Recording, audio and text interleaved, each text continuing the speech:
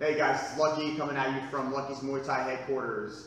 I know that I haven't posted a lot of videos on techniques to YouTube lately, but I'm going to be doing a lot of these, so make sure you hit the subscribe button, or wherever I decide to put it, so that you can receive this content as it comes out.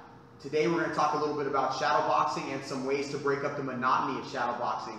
I know many people do not like to shadow box, especially if they're new to combat sports, whether that's boxing, Muay Thai, kickboxing, or MMA.